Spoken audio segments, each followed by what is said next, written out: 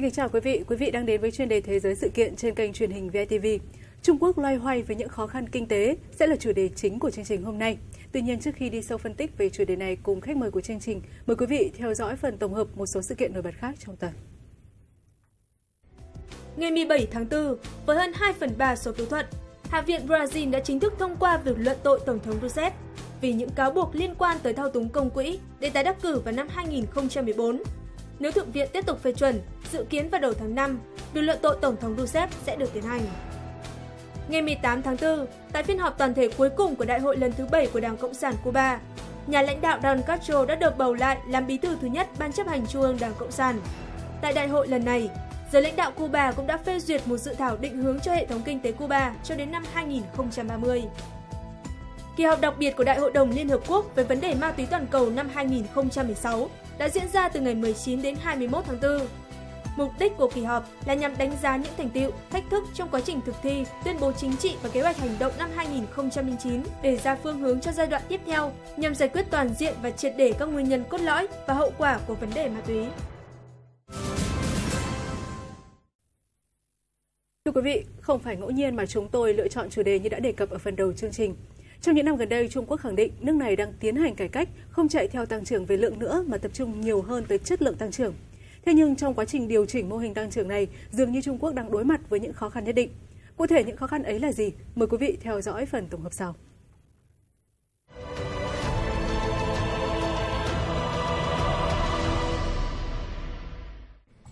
GDP Trung Quốc quý 1 năm 2016 ghi nhận mức thấp nhất trong 7 năm qua, với 16.000 tỷ nhân dân tệ, khoảng 2.500 tỷ đô la Mỹ,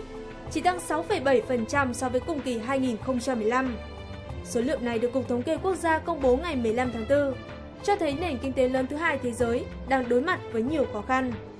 Cụ thể, kim ngạch xuất nhập khẩu quý 1 giảm 8,2%. Nợ công năm 2016 đã vượt mức 250% GDP, từ mức 180% GDP năm 2008. PMI ngành sản xuất tháng 2 năm 2016 chỉ đạt 49 điểm, dù đến tháng 3 đã tăng lên mức 50,2 điểm. Bên cạnh đó, các công ty Trung Quốc ngày càng ngại tuyển dụng lao động mới. 15% số công ty được khảo sát đã cắt giảm việc làm trong quý 1. Chỉ có 23% tăng số công nhân, nhưng con số này đã giảm 9 điểm phần trăm so với cùng kỳ năm ngoái. Đặc biệt, thặng dư công suất hàng năm khoảng 400 triệu tấn sắt thép là vấn đề đáng quan ngại nhất của Trung Quốc, với tỷ lệ sử dụng giảm xuống 67% trong năm 2015. 1,8 triệu công nhân ngành than và thép dự kiến bị chính phủ cắt giảm do tình trạng trên.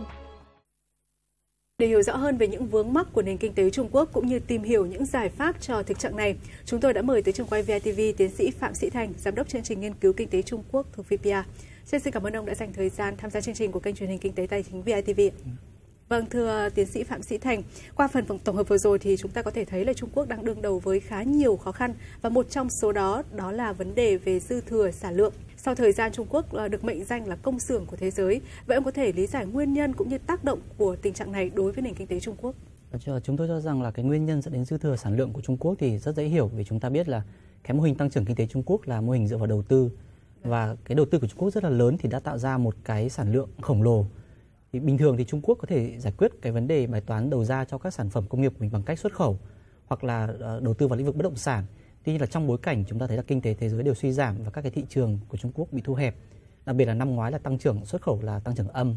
và đặc biệt là cái thị trường bất động sản, nơi mà chiếm tới 14% các khoản đầu tư của Trung Quốc và 30% các khoản tín dụng của hệ thống ngân hàng cũng như là đóng góp hơn 50% vào cái giá trị gia tăng của toàn bộ cái hệ thống công nghiệp Trung Quốc, vẫn còn đóng băng thì cái dư thừa sản lượng nó đột nhiên nó trở thành một cái vấn đề nổi cộng và và một cái vấn đề rất lớn với kinh tế Trung Quốc bởi vì không có cái nơi để tiêu thụ các cái sản phẩm công nghiệp đấy.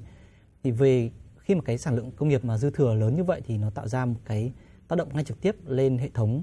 sản xuất công nghiệp cũng như là hệ thống ngân hàng của Trung Quốc. Cụ thể chúng ta có thể thấy đầu tiên là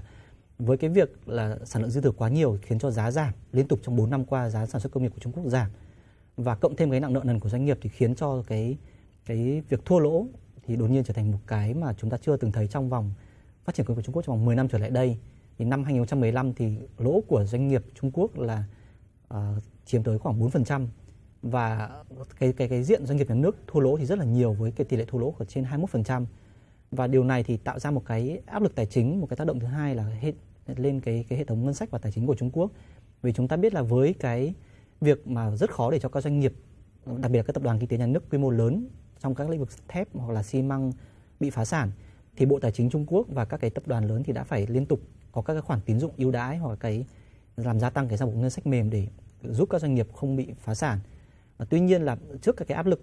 về thua lỗ và không có thể thu được sản phẩm như thế thì rất nhiều doanh nghiệp cũng đã phải sa thải nhân công và nó là cái hệ lụy thứ ba của cái cái làn sóng dư thừa sản lượng. Chẳng hạn chúng ta thấy là riêng trong năm vừa qua thì khoảng 1,8 triệu lao động của các ngành sắt thép là đã bị sa thải và nó tạo nên một cái vấn đề xã hội nổi cộm của Trung Quốc và chính phủ Trung Quốc đã phải dành ra 100 tỷ nhân dân tệ làm một cái quỹ đặc biệt để giải quyết vấn đề ờ, trợ cấp thất nghiệp cũng như là tái định việc làm cho các cái nhóm đối tượng này.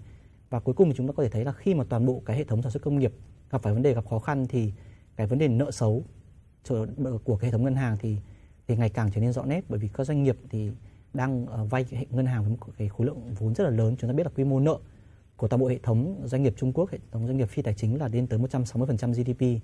là cao gấp đôi các cái nền kinh tế phát triển như là Mỹ hay là Đức hay như là Australia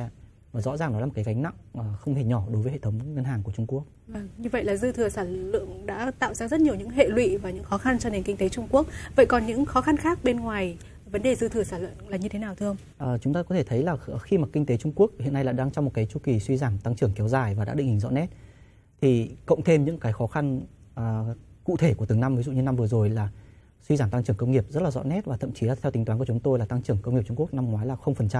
tức là không hề có tăng trưởng nếu mà chúng ta vâng. tính theo cái cái tăng trưởng thực tế của khu vực này. Thì khiến cho các cái nhận định của thị trường về kinh tế Trung Quốc thì theo khuynh hướng ảm đạm những cái quan điểm bi quan thì xuất hiện rất là nhiều. Và cộng thêm các cái tác động về chính sách khác thì có thể dẫn đến cái việc là nhiều nhà đầu tư là lo ngại cho các khoản đầu tư của mình tại đây và đã dẫn đến cái hiện tượng là rút vốn khỏi Trung Quốc và rõ ràng toàn bộ cái câu chuyện về đồng nhân dân tệ hoặc là sản xuất công nghiệp thì đã khiến lượng vốn rút khỏi Trung Quốc năm ngoái theo đạt một cái quy mô rất là lớn. Ngoài ra thì cái khó khăn lớn nhất mà chúng tôi đánh giá đấy và trong nhiệm kỳ của của ông Tập Cận Bình và ông Lý Khắc Cường vẫn là làm sao để thế lãnh đạo nước này thực sự chuyển đổi được cái mô hình tăng trưởng kinh tế của mình thực sự là tiến hành được những cái cải cách kinh tế trọng điểm như cải cách doanh nghiệp nhà nước, cải cách chế độ sở hữu đất đai, cải cách chế độ hộ khẩu và cải cách hệ thống tài chính tiền tệ để Trung Quốc có một nền kinh tế có chất lượng cao hơn và tăng trưởng lành mạnh hơn. Tuy nhiên là đấy đều là những cái lúc cải cách rất là khó và đòi hỏi thời gian cũng như là cái nguồn lực để làm và do đó là trong ngắn hạn thì thì rất khó để thực hiện những cái điều đấy. Vì thế thì cái sức ép của cái khó khăn dài hạn nó đã tạo ra các cái sức ép rất là cụ thể lên từng năm một, lên từng cái cái hoạt động điều hành chính sách ngắn hạn một của chính phủ Trung Quốc và đó là những cái khó khăn về vĩ mô mà nếu mà rời xa con số số liệu chúng ta sẽ thấy là rất là hiện hữu. Vâng. Ừ. Bên cạnh những khó khăn thì chắc hẳn nền kinh tế Trung Quốc cũng có những thuận lợi của riêng mình. À, vậy ông có thể cho biết những thuận lợi đó cũng như là những động lực của nền kinh tế Trung Quốc trong bối cảnh hiện nay? À, thứ nhất tôi cho rằng là bản thân chính phủ Trung Quốc là họ đã nhận thức được rằng là cái nền kinh tế này không thể nào mãi tăng trưởng theo một cái tốc độ và một cái phương thức như vậy và họ ý thức được là cần phải cải cách và trong năm vừa qua thì chúng ta thấy là cái lĩnh vực cải cách mạnh mẽ nhất mà Trung Quốc đã làm được là cải cách lĩnh vực à, tài chính tiền tệ với các cái bước đi về tự do hóa dần cái cái khu vực tài chính tiền tệ của mình đánh dấu bằng các cái việc uh, đồng nhân dân tệ được gia nhập SDR hoặc là các cái cách mạnh mẽ về uh, thả nổi cái lãi suất huy động và cho vay uh, các cái thuận lợi nữa là cái hoạt động kinh tế đối ngoại của Trung Quốc cũng năm vừa rồi cũng đạt được nhiều cái thành tiệu đánh dấu bằng các cái sáng kiến của Trung Quốc được nhiều nước uh, ủng hộ về mặt về về mặt tinh thần và có nhiều nước tham gia một số cái sáng kiến của Trung Quốc. Cái nữa là cái sản xuất thật của Trung Quốc, cái nền sản xuất thực, cái tiềm lực thì chúng tôi đánh giá vẫn là mạnh và ổn định. Mặc dù là tăng trưởng sản xuất công nghiệp năm ngoái là không tăng trưởng, nhưng mà ờ, Trung Quốc vẫn có một cái sức sản xuất à, có thật lớn và cộng thêm một cái thị trường à, khổng lồ ở nông thôn có thể giúp cho Trung Quốc tránh được các cái cú sốc của nền kinh tế. Ngoài ra một điểm rất là quan trọng là chúng tôi đánh giá đấy rằng là mặc dù quy mô nợ của Trung Quốc là lớn lên tới 280% GDP nhưng mà nợ nước ngoài của Trung Quốc thì rất là nhỏ, chỉ chiếm khoảng 10% tổng nợ của Trung Quốc và với cái dự trữ ngoại tệ uh, quy mô lớn của mình thì Trung Quốc có thể đủ cái nguồn lực để ứng phó với các cái rủi ro về kinh tế cũng như rủi ro về vấn đề nợ. Ờ, tuy nhiên là cái cái giá phải trả là bao nhiêu là như thế nào thì rõ ràng chúng ta vẫn chưa lường trước được. Như vậy là qua ít phút vừa rồi chúng ta đã có thể hình dung ra được những khó khăn mà Trung Quốc đang phải đối mặt là rất lớn. Và trên thực tế thì nước này cũng có những cái thuận lợi của riêng mình. Vậy thì giới quan sát nhận định như thế nào về tình hình kinh tế Trung Quốc?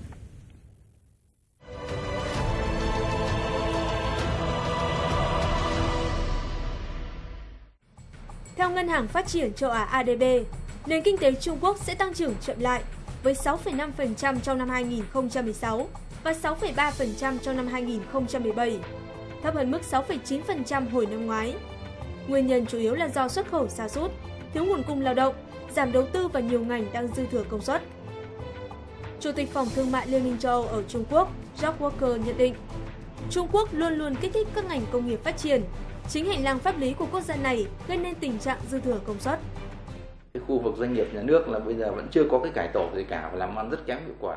Cái nợ chính quyền địa phương bây giờ vẫn chưa có cách gì khống chế được hết. Thị trường à, bất động sản bóng bóng như vậy thì bây giờ là đang là bóng bóng rồi thì mà vẫn cứ phải cố gắng kích giá ở một vài cái thành phố quan trọng lên để cho cái chỉ số và cái, cái, cái nền kinh tế nó nó vận hành như vậy là nó che giấu các cái cái, cái cái nợ xấu khổng lồ trong cái hệ thống ngân hàng và thậm chí bây giờ là vấn đề dư thừa công suất. Theo nhận định của tôi thì về cơ bản là Trung Quốc bây giờ tôi chưa nhìn thấy những cái cải cách nào lớn đáng kể để để giải quyết cái vấn đề này cả, mà vẫn đang muốn che giấu là chính. Chuyên gia kinh tế Hà Phạm thuộc tập đoàn truyền thông Tài Tân nhận định, tình hình kinh tế Trung Quốc đang xấu đi, con đường phục hồi của nền kinh tế lớn thứ hai thế giới này vẫn còn nhiều khó khăn các nhà hoạch định chính sách cần triển khai các chính sách kích thích vừa phải và hỗ trợ nhiều hơn cho nền kinh tế nhằm ngăn ngừa tình trạng lao dốc. Ông Sang Jinwei, chuyên gia kinh tế trưởng của ADB nhận định, tốc độ tăng trưởng chậm lại của Trung Quốc và sự phục hồi không đồng đều của kinh tế toàn cầu sẽ gây áp lực đối với tăng trưởng kinh tế châu Á. Tuy nhiên, khu vực này vẫn sẽ đóng góp hơn 60% vào tăng trưởng kinh tế toàn cầu. Mặc dù đang đối mặt với áp lực giảm tăng trưởng rất lớn, nhưng theo người phát ngôn Cục Thống kê Quốc gia Trung Quốc Seng La-yun, kinh tế Trung Quốc vẫn đang tăng trưởng ổn định trong giới hạn hợp lý. Về tổng thể, nền kinh tế vận hành ổn định. Tuy nhiên cũng cần thấy rõ, kinh tế Trung Quốc đang trong giai đoạn điều chỉnh kết cấu, áp lực giảm tăng trưởng vẫn rất lớn. Nhiều chuyên gia bày tỏ quan ngại về khả năng Trung Quốc sẽ áp dụng các biện pháp kích thích kinh tế, như tiếp tục phá giá đồng nhân dân tệ để thúc đẩy xuất khẩu, đảm bảo cho tăng trưởng kinh tế đạt được mục tiêu đã đề ra là từ 6,5% đến 7% cho cả năm nay. Thưa tiến sĩ Phạm Sĩ Thành, theo ông thì liệu Trung Quốc có đang đi đúng hướng trong việc chuyển đổi mô hình tăng trưởng của mình hay là họ vẫn đang loay hoay với mục tiêu chuyển đổi mô hình đó? Bởi vì trên thực tế thì uh, nhu cầu tiêu dùng của người dân Trung Quốc vẫn chưa được kích thích như mong đợi, trong khi đó thì xuất khẩu thì đã suy giảm. Ờ, vâng, chúng tôi cho rằng là cái việc chuyển hướng mô hình tăng trưởng nó vẫn là một cái mong muốn, một cái mục tiêu của chính phủ Trung Quốc hơn là những cái gì mà chúng ta đã nhìn thấy được thực hiện được trong thực tế. Bởi vì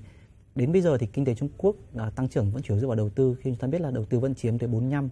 đến 50% GDP đóng góp vào GDP và có một cái hiện tượng là tiêu dùng của Trung Quốc đang trong cái khuynh cái khuynh hướng suy giảm. Và hiện nay về mức khoảng 35% và đó là một cái cái dấu hiệu không lành mạnh đối với việc mà anh muốn chuyển đổi mô hình tăng trưởng kinh tế. Ngoài ra một cái chỉ dấu khác cũng cho thấy là cái chuyển đổi sang từ một cái mô hình là đầu tư vào xuất khẩu sang dựa vào nhu cầu trong nước thì nó nó đòi hỏi một cái uh, cái cái thu nhập của người dân là tăng và cái cái mong muốn tiêu dùng là phải tăng mạnh. Thì chúng tôi nhận thấy là tăng trưởng thu nhập của Trung Quốc trong thời gian dài vừa qua là là tăng thấp hơn rất nhiều so với tăng trưởng GDP và điều đấy thì nó sẽ đặt ra một cái dấu hỏi về cái việc là liệu tiêu dùng có được mở rộng trong tương lai hay không và đánh giá về cái cái chuyển đổi mô hình tăng trưởng của Trung Quốc khi mà Trung Quốc hiện nay đang đang muốn chuyển đổi sang cải cách mà họ gọi là cải cách cơ cấu theo hướng là cải cách tổng cung và với các cái mục tiêu là giảm sản lượng, giảm tồn kho, giảm vay nợ thì chúng tôi nhận thấy là có bốn thách thức rất là lớn. Thứ nhất đấy là làm sao để chuyển đổi được và cần mất bao nhiêu thời gian để chuyển đổi mô hình tăng trưởng này. Thứ hai là với cái việc ai cũng biết là kinh tế Trung Quốc đang trong chu kỳ suy giảm tăng trưởng kéo dài thì làm sao để để quản lý để ổn định được cái tăng trưởng tiềm năng để không tạo ra một cái cú sốc về kỳ vọng ở trong tương lai. Cái thứ ba là khi Trung Quốc suy giảm tăng trưởng thì sẽ tạo ra một cái tương tác rất là mạnh với thế giới và Trung Quốc sẽ xử lý thế nào cái quan hệ giữa kinh tế, những bất ổn kinh tế trong nước của mình, ổn định kinh tế của mình với cả quan hệ kinh tế bên ngoài Chẳng gần đây chúng ta biết là với cái việc dư thừa sản lượng thì Trung Quốc năm ngoái đã xuất, lần đầu tiên xuất khẩu hơn 100 triệu tấn thép ra thị trường thế giới và điều này thì gây nên một cái áp lực khổng lồ cho toàn bộ hệ thống sản xuất thép của châu Âu và ừ gần đây nhất mới đất chỉ ngày hôm qua thôi thì EU đã cho rằng là họ sẽ có thể sẽ phải có những biện pháp uh, áp dụng trừng phạt đối với cả các cái sản phẩm thép của Trung Quốc xuất khẩu sang thị trường của họ hay như là việc các cái sáng kiến của Trung Quốc về hợp tác kinh tế chính trị hợp tác về một vành đai một con đường cũng có thể tạo ra các cái xung đột về lợi ích địa chính trị với cả các quốc gia khác. Thì Trung Quốc uh, điều hòa như thế nào cái sự phát triển của mình cho tương thích với cả cái nhịp độ phát triển của thế giới cũng là một cái thách thức. Và cuối cùng đấy đấy là làm thế nào để những cái sức ép về cả cái kinh tế không tạo ra một cái sức ép về chính trị hoặc là làm thế nào để có thể có ổn định chính trị để thực hiện cả cái kinh tế là một trong những cái mà thách thức chúng ta cho rằng chúng tôi cho rằng là rất quan trọng để đánh giá về cái việc chuyển đổi của toàn bộ nền kinh tế Trung Quốc nói chung chứ không chỉ là chuyển đổi về về mô hình phát triển hoặc là mô hình tăng trưởng kinh tế. Vậy ông đánh giá như thế nào về những giải pháp mà Trung Quốc đã đưa ra để khắc phục những vấn đề của mình và để hài hòa giữa mục tiêu và những gì đang diễn ra trên thực tế ạ? À, hiện đến nay để mà để, để ổn định tăng trưởng thì Trung Quốc đang có những cái nhóm giải pháp rất mạnh uh, nhằm giải quyết cái khó khăn của khu vực uh, lĩnh vực bất động sản. Uh, hàng, chẳng hạn như là các cái chính sách về về tín dụng đối với cả vay nới lỏng các chính sách tín dụng với cả mua hoặc là kinh doanh bất động sản hơn so với trước hay như là cho phép lại hoạt động của các cái hãng các công ty bất động sản được có cái không gian nhiều hơn trước. Và cái những nhóm giải pháp thứ hai là nhằm tháo gỡ khó khăn cho các doanh nghiệp sản xuất công nghiệp của họ. Thì đang có hai hướng. Một là thúc đẩy các cái doanh nghiệp này xuất khẩu ra bên ngoài hoặc đi ra bên ngoài để đầu tư và thứ hai là các cái gói giải pháp về, có thể là họ sẽ lại áp dụng một cái giải pháp đã tiến hành từ năm 97 đấy là đối với các khoản nợ xấu của doanh nghiệp và ngân hàng thì họ sẽ cho phép chuyển đổi nợ xấu của ngân hàng thành cổ phần trong doanh nghiệp để làm sạch cái bảng ờ, cân đối tài sản và giúp giảm nhẹ gánh nặng cho doanh nghiệp. Tuy nhiên, quan điểm của chúng tôi cho rằng thì đây đều chỉ là các giải pháp mang tính chất kỹ thuật và tạm thời mà nó không phải cái giải pháp căn cốt nhất hoặc là bản chất nhất của giải quyết khó khăn cho khu vực sản xuất công nghiệp cũng như bất động sản. bởi chúng ta biết là mấu chốt của vấn đề là cái đầu tư của Trung Quốc quá lớn và cái vay nợ quá lớn tạo ra một cái nguồn cung khổng lồ cả trên ờ, thị trường bất động sản lẫn trong sản xuất công nghiệp. Vì vậy là nếu muốn để giải quyết bài toán này thì anh phải giải quyết từ đầu vào, tức là từ cái khâu đầu tư từ các việc cấp tín dụng, cụ đồ tín dụng và các chính sách tiền tệ. Chứ còn các cái giải pháp ở trên từng thị trường cụ thể thì nó chỉ mang tính chất kỹ thuật và mang tính chất tạm thời. Vâng.